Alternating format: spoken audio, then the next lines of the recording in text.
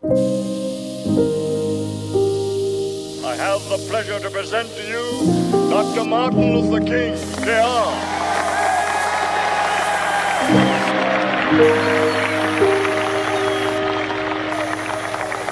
I am happy to join with you today in what will go down in history as the greatest demonstration for freedom in the history of our nation.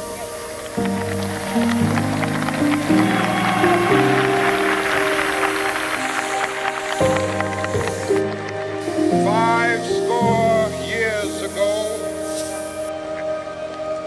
a great American in whose symbolic shadow we stand today signed the Emancipation Proclamation.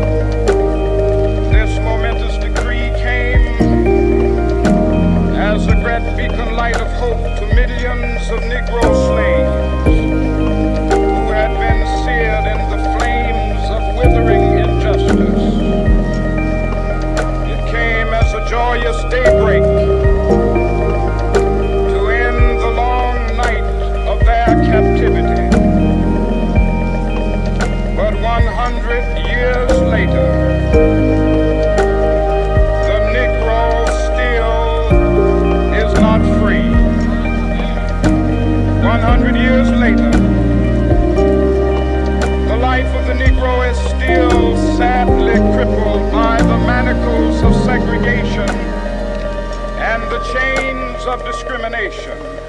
100 years later, the Negro lives on a lonely island of poverty in the midst of a vast ocean of material prosperity. 100 years later, the Negro is still languished in the corners of American society finds himself in exile in his own land.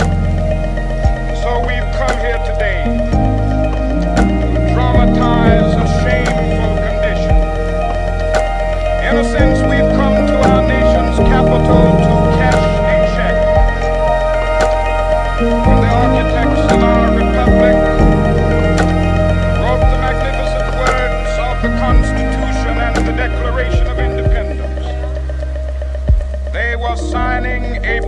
Note to which every American was to fall heir. This note was a promise that all men, yes, black men as well as white men, would be guaranteed the unalienable rights of life, liberty, and the pursuit of happiness. It is obvious today that America has defaulted on this promissory note insofar as her citizens of color are concerned. Instead of honoring this sacred obligation, America has given the Negro people a bad check, a check which has come back marked insufficient funds.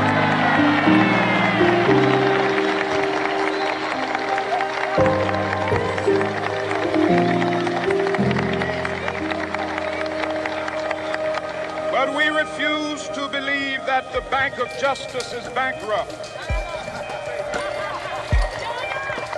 We refuse to believe that there are insufficient funds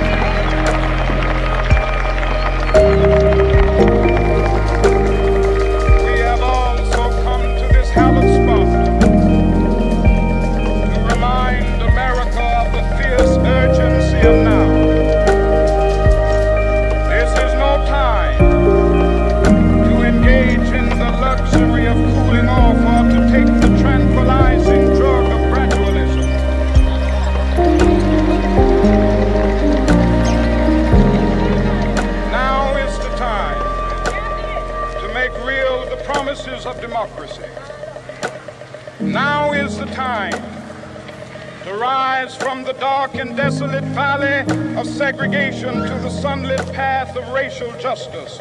Now is the time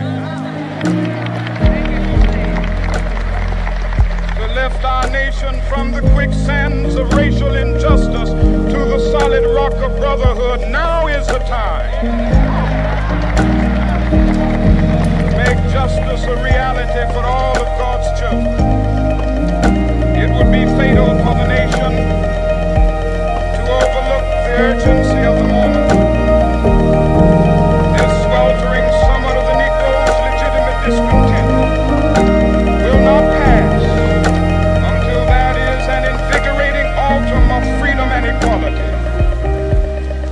1963 is not an end, but a beginning.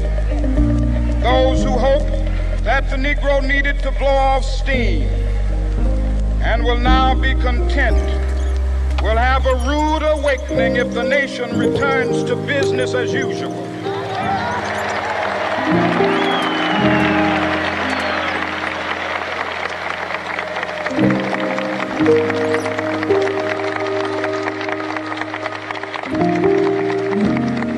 There will be neither rest nor tranquility in America until the Negro is granted his citizenship rights.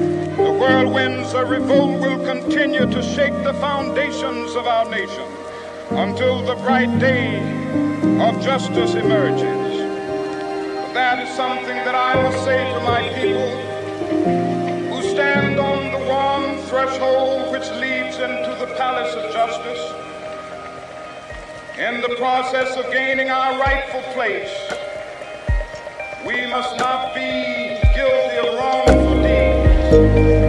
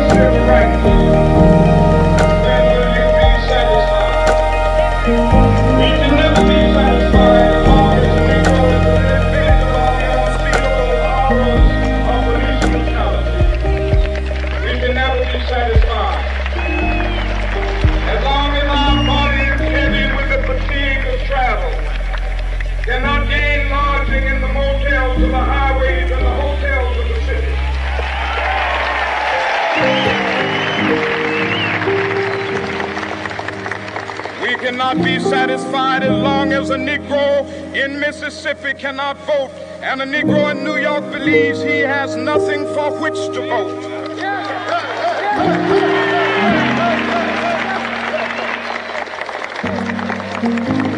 No, no, we are not satisfied and we will not be satisfied until justice rolls down like waters and righteousness like a mighty stream.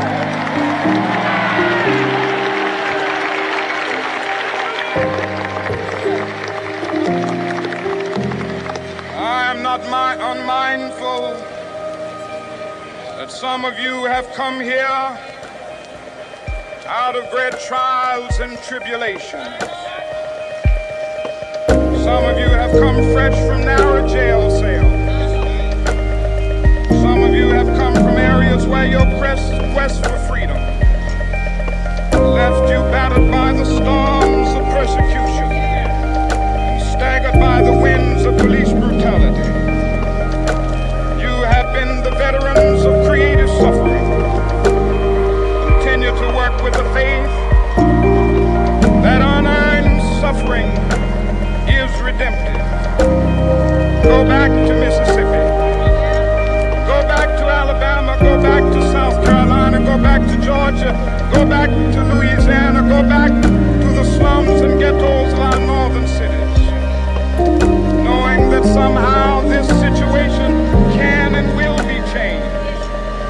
Us not wallow in the valley of despair. I say to you today, my friend,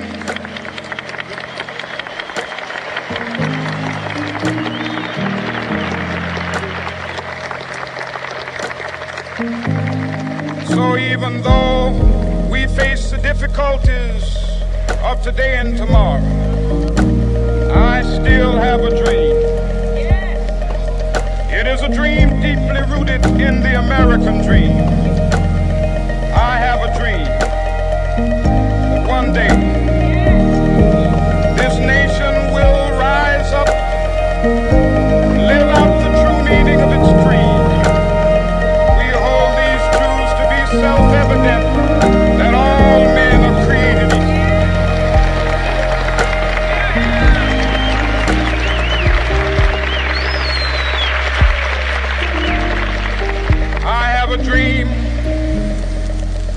One day on the red hills of Georgia, the sons of former slaves and the sons of former slave owners will be able to sit down together at the table of brotherhood. I have a dream that one day, even the state of Mississippi, a state sweltering with the heat of injustice, sweltering with the heat of oppression, be transformed into an oasis of freedom and justice. I have a dream that my four little children will one day live in a nation where they will not be judged by the color of their skin, but by the content of their character. I have a dream today.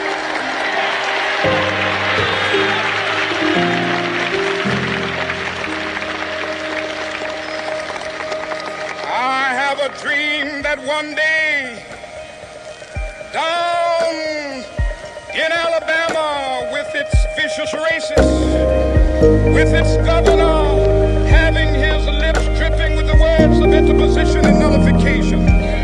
One day right there in Alabama, little black boys and black girls will be able to join hands with little white boys and white girls as sisters and brothers.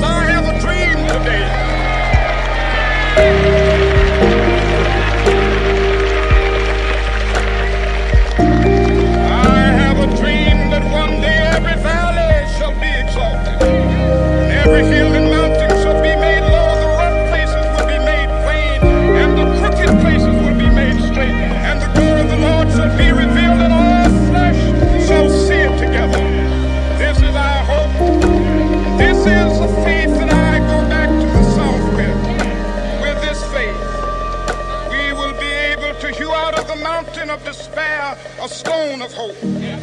With this faith, we will be able to transform the jangling discords of our nation into a beautiful symphony of brotherhood. With this faith, we will be able to work together, to pray together, to struggle together, to go to jail together, to stand up for freedom together, knowing that we will be free one day. This will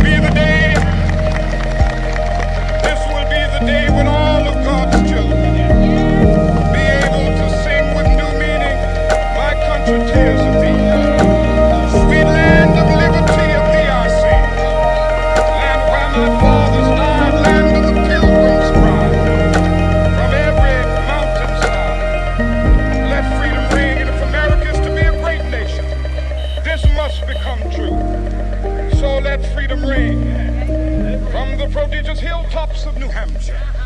Let freedom ring from the mighty mountains of New York. Let freedom ring from the heightening Alleghanies of Pennsylvania. Let freedom ring from the snow-capped Rockies of Colorado.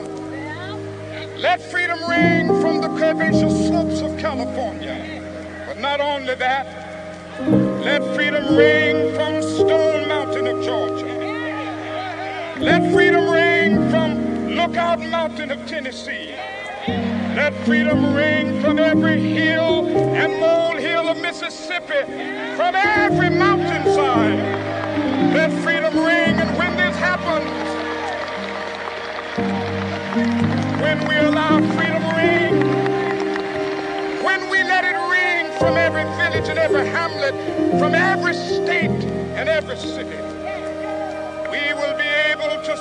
Up that day when all of God's children, black men and white men, Jews and Gentiles, Protestants and Catholics, will be able to join hands and sing in the words of the old.